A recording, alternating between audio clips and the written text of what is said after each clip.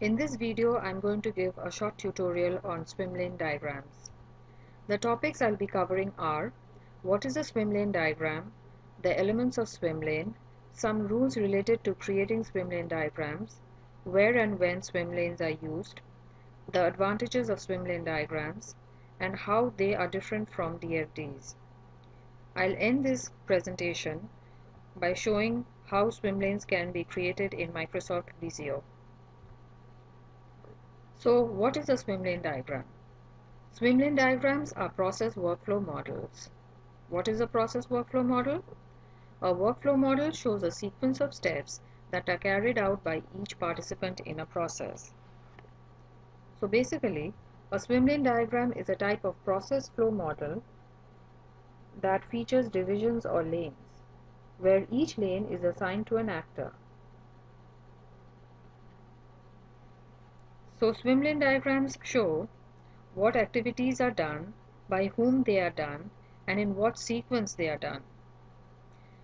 The, the diagram may be arranged either vertically or horizontally. But no matter how the lanes are arranged, they always display information in a chronological order. What are the elements of swim lane? So broadly speaking, the elements can be broadly categorized into two sections. The first is the actor and the second are steps. So who is an actor? An actor is a participant of a process. It can be a person who's playing a role, an organization or department, a job title like a salesman for example, a holding area like an inbox or outbox of mail, or an information system like a student information system or even a machine.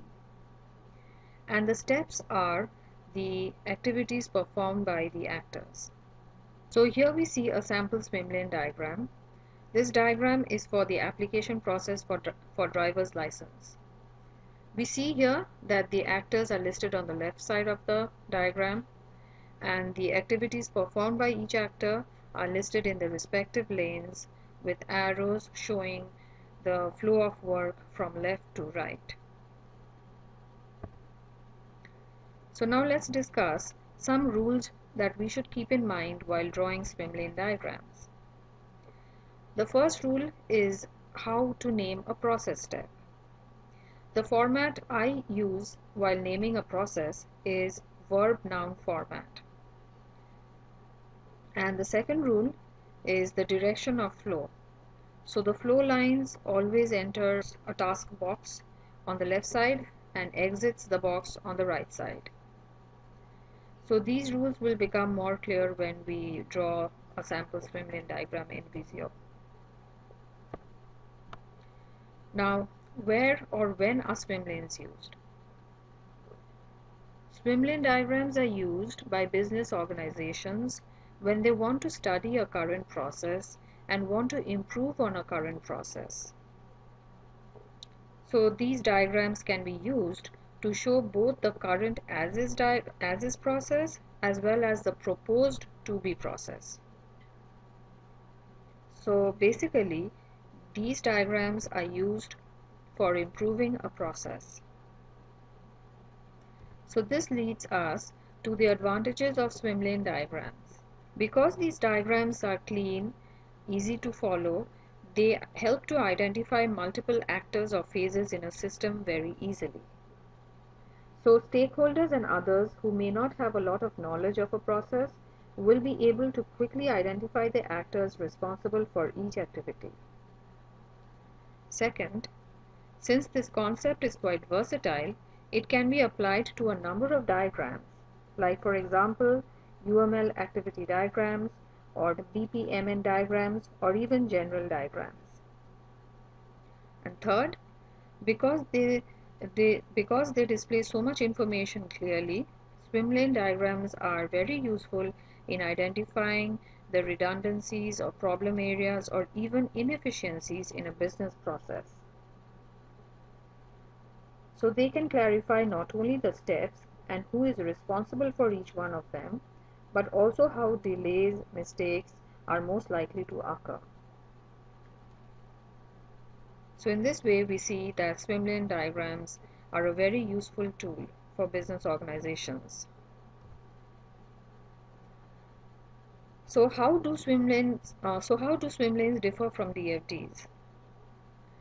First, we know that swim lane diagrams are process workflow models that describe the flow of work through the system, whereas DFDs show the flow of data through the system. So this is the basic difference between swim lanes and DFDs. And second, whenever there is a workflow, there is also some data that is um, accompanied with the workflow. But if there is a data flow, it does not necessarily mean that there is an accompanying workflow. And another uh, difference between swim lane and DFDs is that DFDs show only the flow of data in a system, whereas swim lanes show, in addition to the flow of work, it also shows who is doing that work and when that work is being done. So they are much more comprehensive than DFDs. Now I'm going to draw a very simple high-level swim lane diagram in Microsoft Visio. So I open Visio, choose cross-functional flowchart. The example that I'll be using now is the same application process for driver's license. So we see that the swim lane already has two lanes for two actors and since I'll be drawing a horizontal swim lane I need to expand this uh, page. So I'll start with uh, listing I'll start by The first actor is the applicant of the driver's license.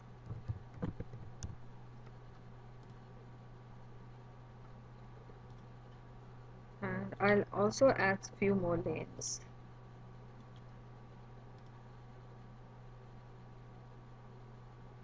The second actor is the DMV clerk, the Department of Motor Vehicles clerk third actor is DMV knowledge test system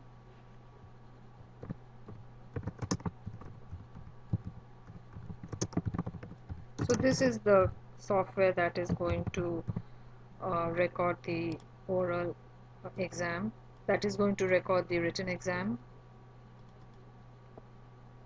and then is the DMV driving uh, examiner who's going to take the um, driving test, the behind the wheel test.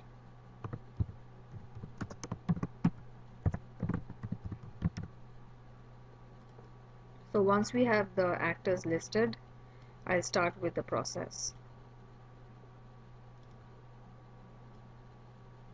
So the process starts with the applicant who gathers all the required documents and while naming this process I'm going to use the action noun format that I discussed earlier. So the name of the process will be assemble required documents.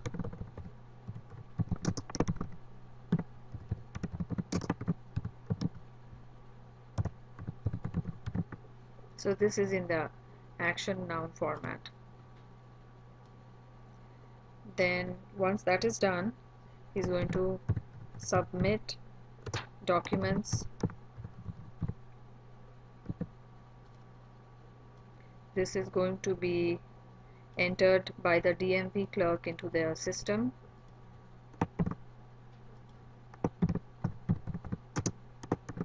So enter applicant information. After this is done the applicant is going to take the written exam. Take written exam.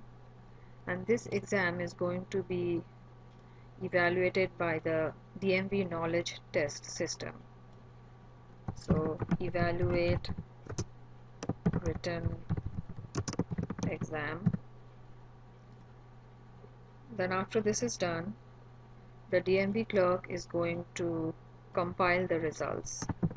Compile exam result the applicant is going then going to take the actual driving test which is behind the wheel test. Take driving test is the name of the step.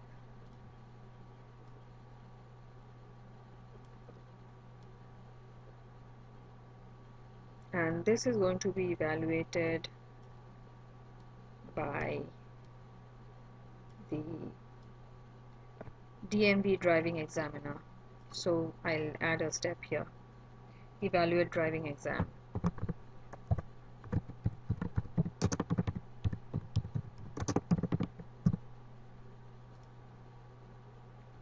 Now after the applicant passes the exam he's going to pay the fees.